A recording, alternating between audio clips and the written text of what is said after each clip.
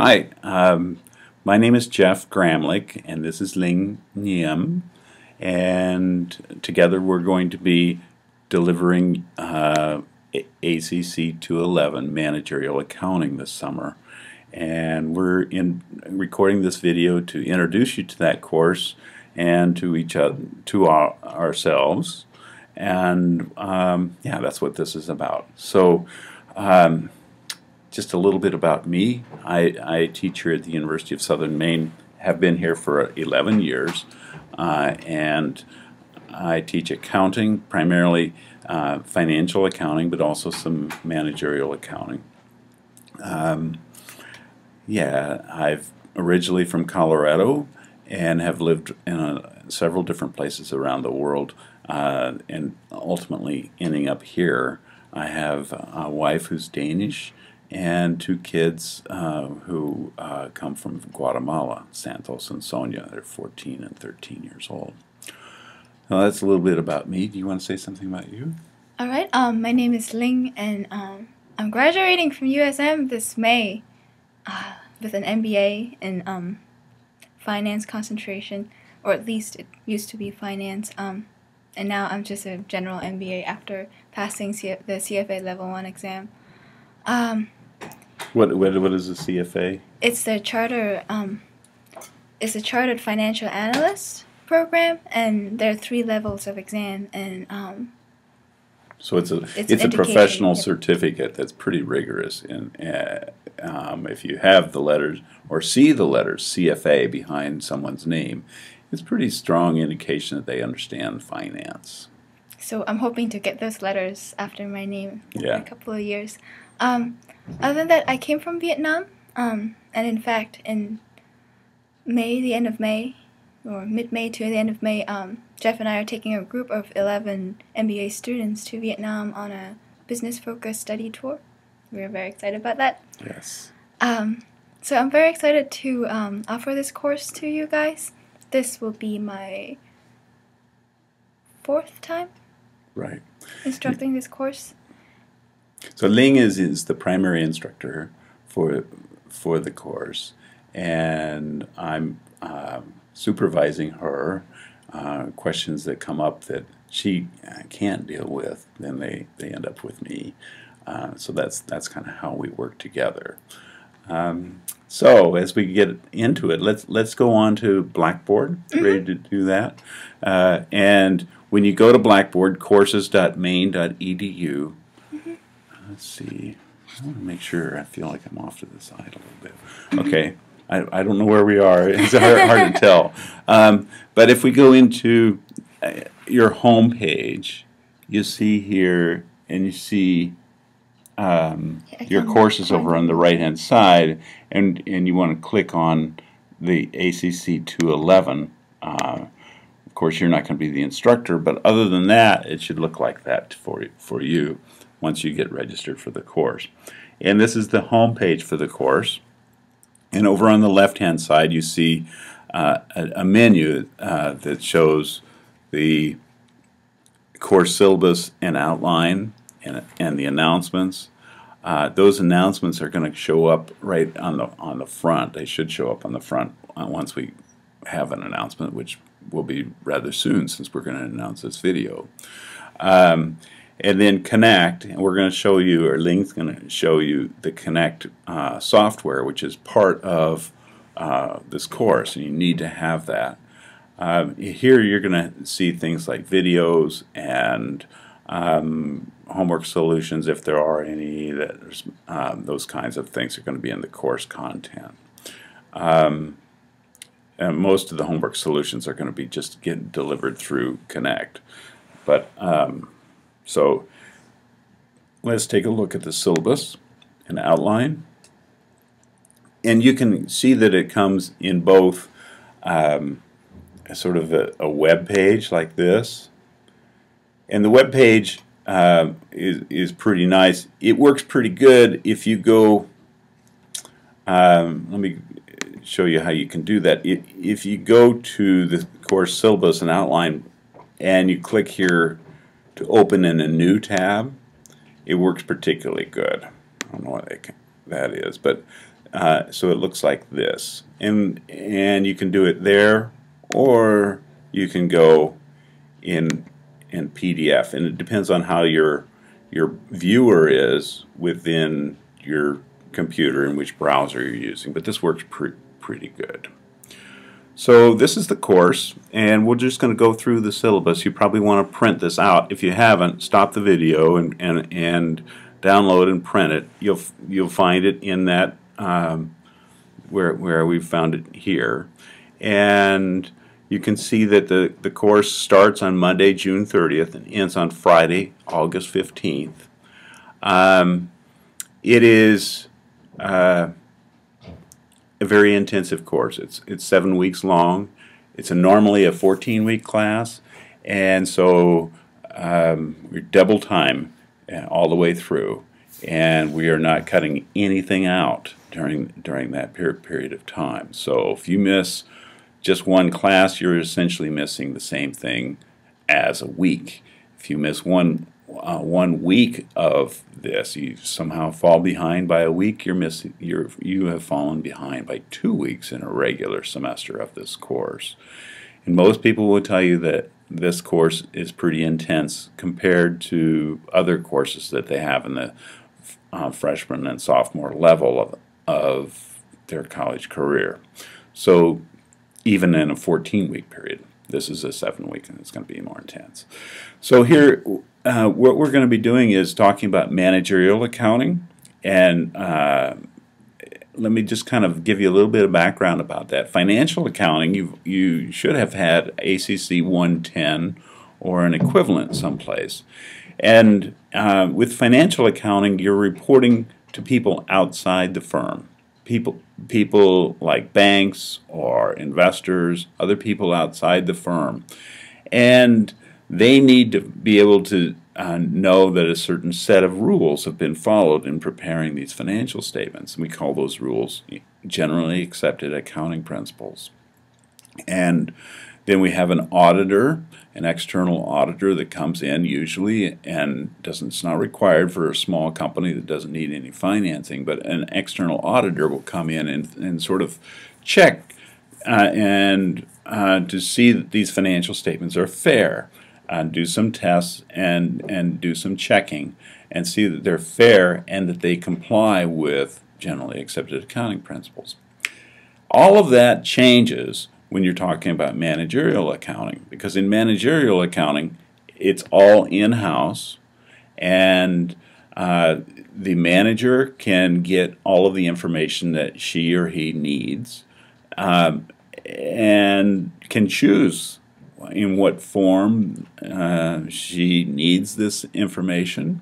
So it's it's a different thing. It's there's no rules to follow in managerial accounting. What we're going to be talking about and and showing you is some basic techniques that are used by many firms, but each firm is going to use specific ones, and many of them are unique to their their company.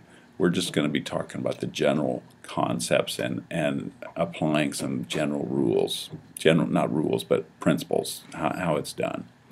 So let's take a look. It says this course offers, offers an opportunity for students to gain an introduction to selected managerial accounting topics, including cost behavior, product costing, budgeting, performance management, and relevant costs and benefits. The three main components of the course pertain to cost management, planning and control, and strategic decision making. Uh, it's going to provide you with the opportunity to learn the basic concepts and accounting systems involved in the use of managerial accounting information in organizations in order to make planning and control decisions. Um, the basic concepts include uh, understanding different types of costs. We have direct and indirect, fixed and variable, and relevant costs um, different kinds of accounting systems like job job order and process costing, and then planning. And this is, uh, and I have a personal preference because I like the planning side of it, the cost, volume, profit uh, analysis, the budget, um, flexible budgets, and variance analysis, uh, performance measurement. All of that seems is the part that I really love. But I love it all, really. But those those are my special favorites, and you'll get to that toward the end of the course. This course focuses on the use of accounting data for internal management decision. That's what I talked about earlier. Um, you're going to learn the nature of costs and how to analyze and control them. Um, you're going to look at, at the different techniques for analyzing and, and figuring out what information is useful and what's not useful. And um, look at budgeting. Um, and that's going to help you manage a company more profitably and efficiently. Um, so you need to have finished ACC 110 or its equivalent with a C minus or better, and you should have sophomore standing. Um, presumably you have those things before you watch this video. If not, you better check into it. So at the end of this course, you should be able to uh, identify managerial accounting issues and, and say, all right, this, this is an issue here um, that we're uh, a problem. And I think I can handle it, or at least I can set it up and say to somebody else who can what the problem is. For example, you could say, um, how many units do we have to sell in order just to break even? Or how many units do we have to sell in order to make $10,000? Those kinds of uh, managerial accounting issues. Um, you can I also identify what information you need and implicitly, and this is important, what information you don't need. Because we live in an information age and we've got way more information than we need. Lots and lots of information. And so what you need to do is sort of sift through and get to the stuff that you really need and throw away the stuff that you don't. Um, and then you be, should be able to address problems. And, and we're going to work through quite a few problems in this course. Okay, the, the textbook, we're using the 14th edition of uh, Managerial Accounting uh, can I show it? So it looks like this. Um, it's got this sort of brownish yellow. We're not using the 15th edition. You should be happy about that because it'll save you probably $150 or more for, for that textbook. Um, you will, you can buy it used.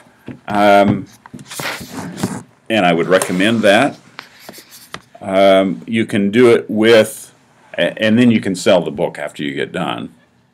Um, you can. You also need to have the Connect homework tool, and um, the ebook can be purchased, can be obtained online along with Connect for $125. Of course, if you buy the ebook, you can't sell that afterwards.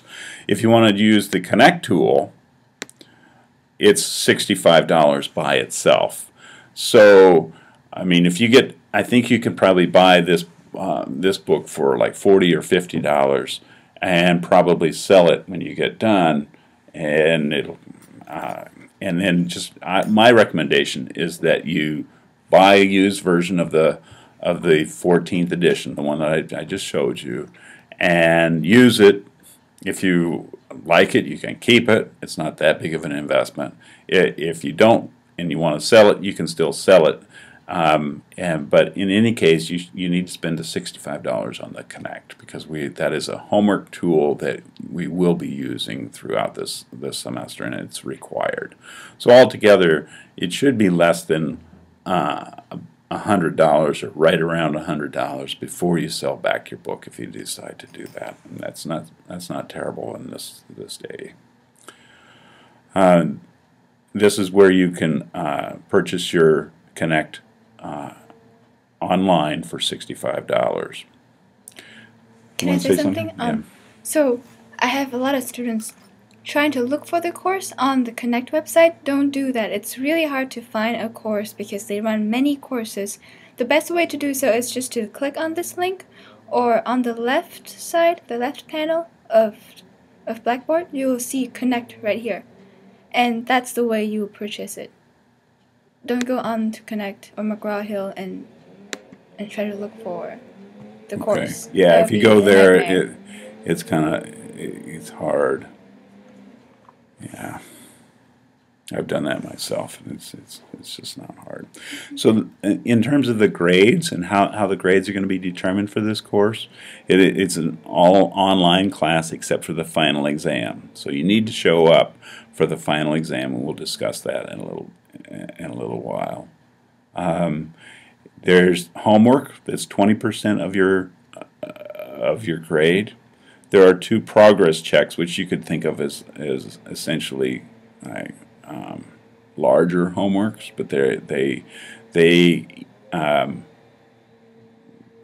they're they're they're cumulative. they're cumulative and they cover several different chapters, and they're they're together worth 20%. So you don't want to ignore those those progress checks.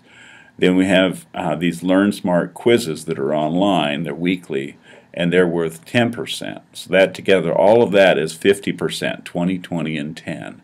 And then we have a cumulative final exam that is 50%. Um, and that's how your grade will be determined in, in, in this course. Um,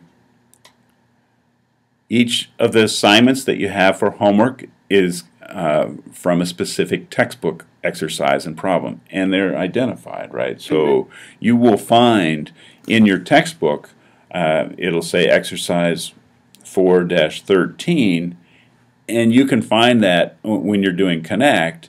Most of the time, you just work on Connect, but you can find that homework assignment also on uh, in, in the textbook. Now the numbers are likely to be different because Connect kind of jumbles the numbers so that uh, right You have unlimited attempts on each of the homework that we were just talking about, but each attempt will provide you with um, a different set of data. So you're unlikely to have the same numbers as your friends, and unlikely to have the same numbers if you restart an attempt.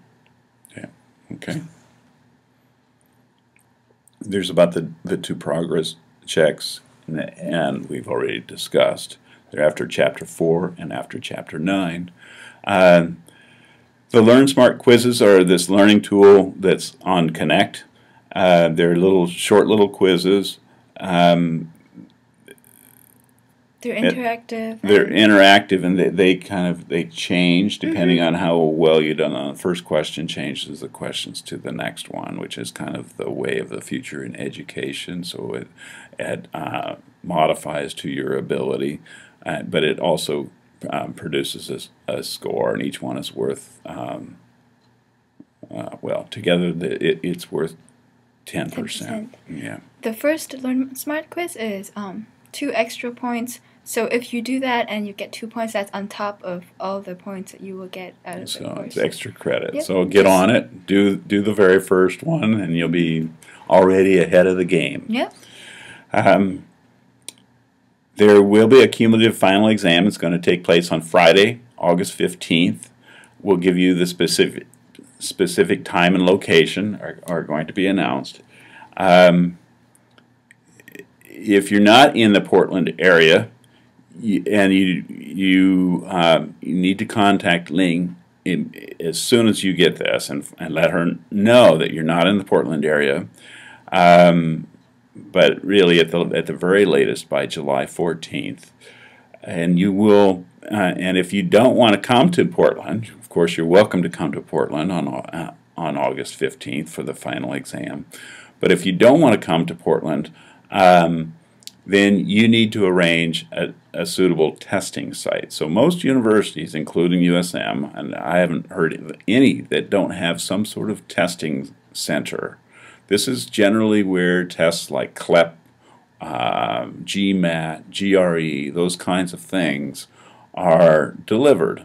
And you need to go to a university or even a community college and or even a testing center, a commercial testing center, which also exists out there. You need to find one of those places and get connected with Linh so we know where, where you are. You can also do it through the University of Maine system. Can you talk a little It's bit about that? It's called the University College Learning Service, and there's a link right here. You click on it. Um, right now, it's only showing courses in the spring, but once courses in the summer are showing, you will find the name of our course, and then you follow the instructions and um, Yeah. register yourself to take the exam remotely at one of the UMaine system universities. Okay. And I don't think that will cost you. Yeah, I don't think that costs anything to do it through a UMaine. So, like if you're in o- Orono or um, Presque Isle or someplace like that, just need to have it also by July 15th. You need to get that information. Otherwise, if we don't hear from you by July 15th, we're expecting you to be taking the exam in person In Portland. in Portland. Yep. Okay.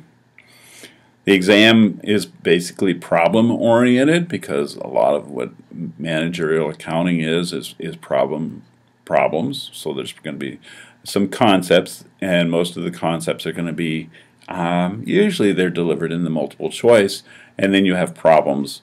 Uh, there there could be some matching, um, but um, I would say the majority of it is going to be multiple choice and problems. Okay. Keep in mind that, that time is important.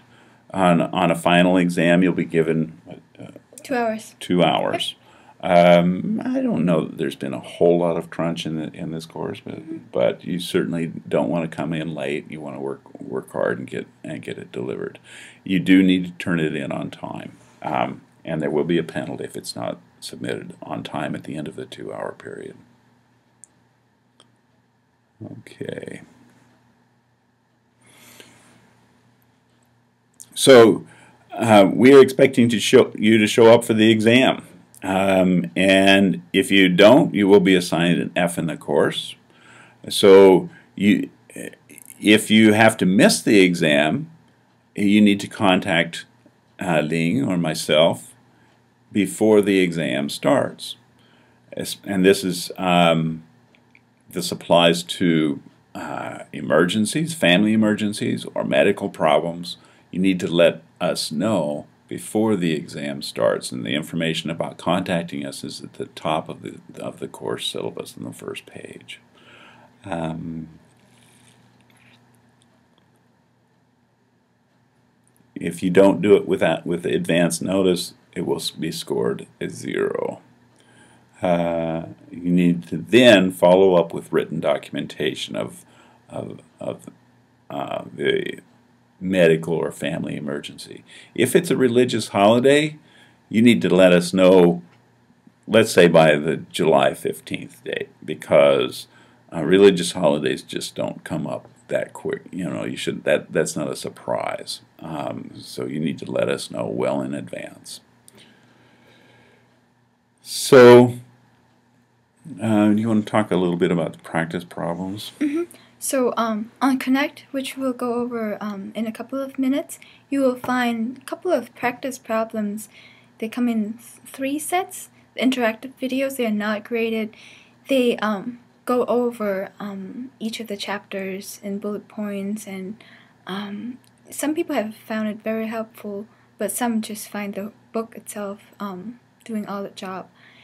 And then you will also find the chapter practice. These are also not graded. You have 20 to 60 questions to work with, and you'll see the answers after you attempt them. And there are optional homework practice, which is also not graded. And um, each set will be released two minutes after your own homework is due. And the optional homework practice will mirror your homework in a way that they are the same questions they use a different set of data so you can rework the problems that you feel like you're Mhm. not you were unsure about as you were doing your homework.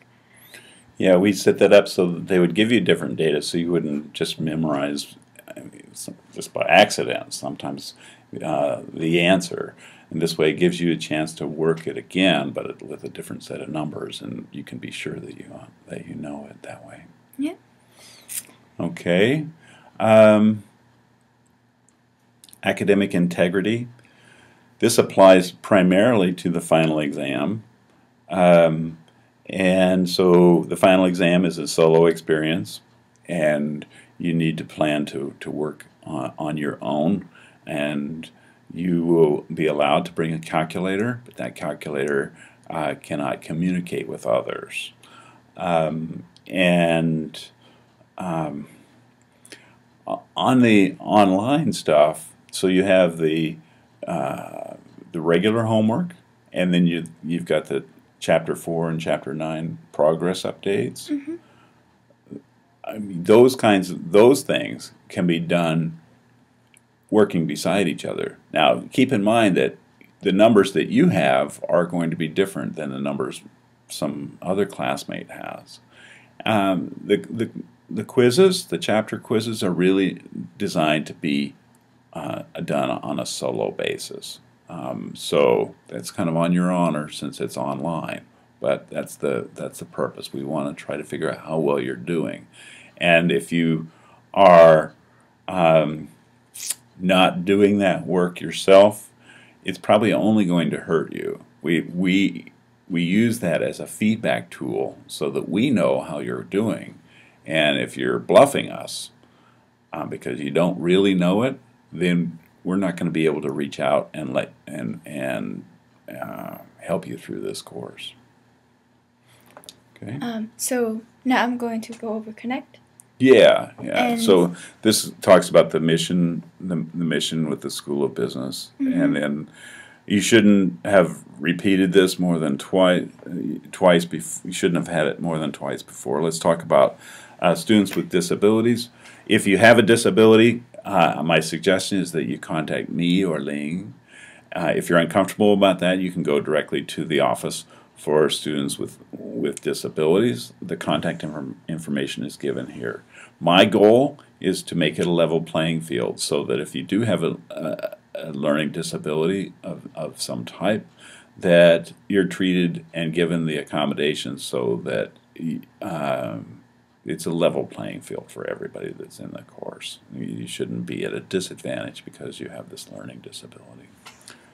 The course schedule uh, is going to be kept on the on the Blackboard site and the course in the syllabus and outline folder. Yep. Correct? Um, if you scroll down, it's right there. And it's right here. Go ahead. Um, so as you can see, there are two sets of homework due every week, um, Monday nights and Wednesday nights at 11:59 p.m. And I recommend that you start way earlier than than that day when it's due. Um, there's seven weeks, and we also listed out all the learning objectives in this course outline. So at the end of the day, at the end of the week, you sit down and you can check off all these learning objectives. If you feel like you have accomplished all of these, then you should be ready for the final exam. And Yeah, really well. That's the goal. So if you do all the work throughout the, the and and then do it on time, and you feel competent with everything that you did, then the final exam should be a breeze. Yep.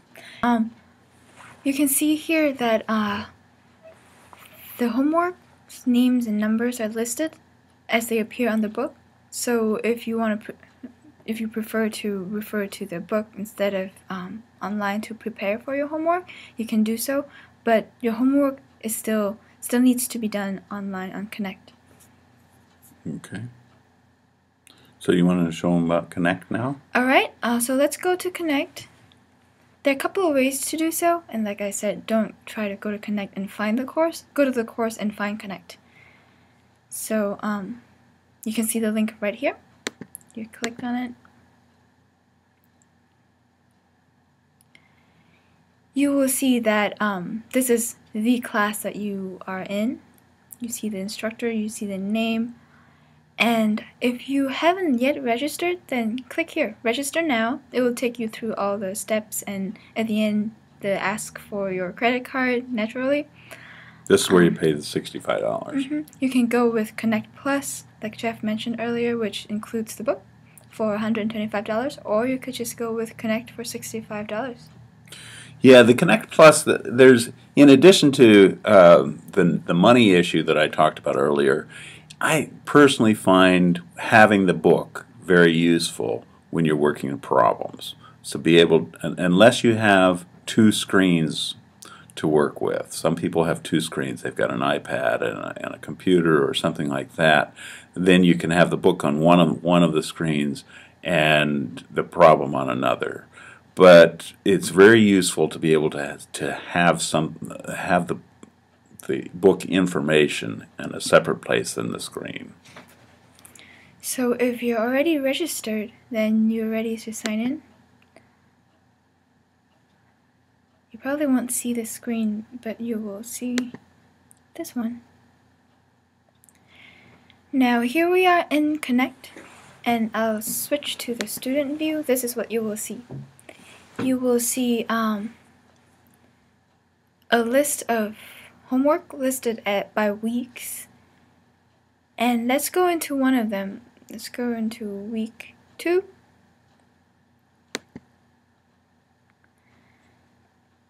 And you will see all the homework assignments that we mentioned earlier, the LearnSmart quiz. It will tell you when it's due, right on the second column.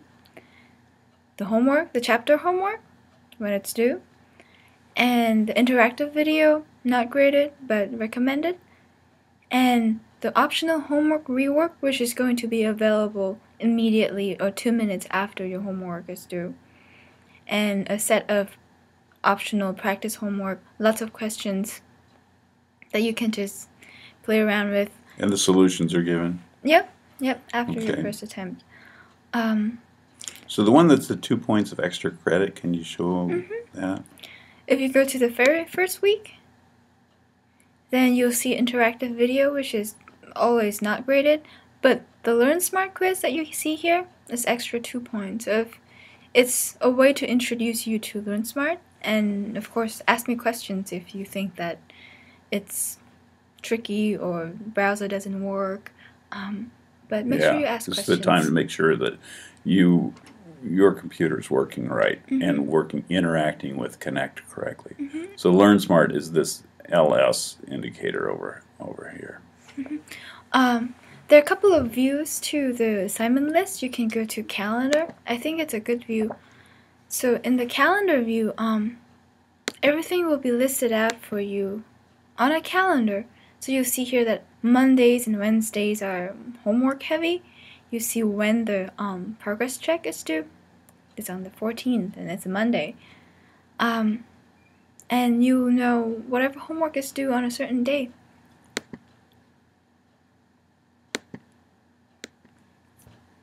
And make sure you ask me questions.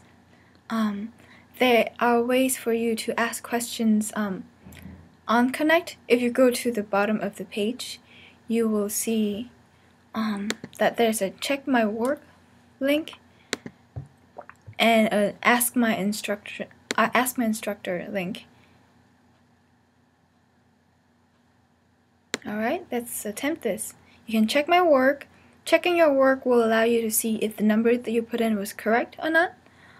And um, ask your instructor a question will send um, me an email or a message on Connect letting me know that you are running into difficulties with a certain part of the question. Or you can email me. If you choose to email me, make sure that you take a picture, take a snapshot of your screen so I know what sets of numbers you're working with. Yeah, and, and of course, copying that into your email if you yep. if you can do that. Yep. Um, yeah. So I think that covers everything. Okay. I think you're ready to go. Uh, the important points that I would like to highlight are number one, you've got to keep up. This this is a very fast course. Uh, I know that the summer, especially in Maine, is beautiful, and so there's a tendency to, to blow off an online class do not do that. It will hurt you, and, and you'll be very frustrated by, uh, number one, having sort of wasted some money and not given, got, you've got to hurt your grade point average and those kinds of things. So don't, don't do that. Um, so just keep up, and if you do all the work in this course, you should do well in the exam and should do, do well in the course that's the beauty. It's not rocket science. It's not something you, you know. It's not like physics or something really complicated. You just do the work, and you, and if you do all of the work and put the hours and effort into it, you should do well in this course. Anything else you want to say? I think we're all set. I think you'll find working with Linh great. The students uh, tell me that she is, is very helpful. And uh, the other thing I would say is if you're having any trouble, contact her. She um, she and I are in different generation. She she gets that email and she'll turn around and get right back on it. She she she's very good at responding, and um, so I think you're fortunate to be working with with her. She's, Thank you, Jeff. Yeah. Okay. All right. Good luck. Good luck. I look forward to hearing from you.